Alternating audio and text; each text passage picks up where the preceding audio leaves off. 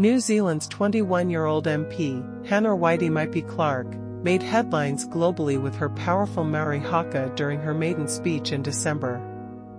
As the youngest MP since 1853, she honored Indigenous people by performing the traditional war cry, with Maori MPs joining in. In a resurfaced video, she declares her commitment to both living and dying for her people, delivering parts of her speech in Te Reo Maori. Maipi Clarke, a guardian of the Maori language, aims to represent a new generation of voters. She took over the Hauraki Waikato seat from veteran Maori politician Nanaia Mahuta, advocating for Indigenous rights under Te Pāti Maori.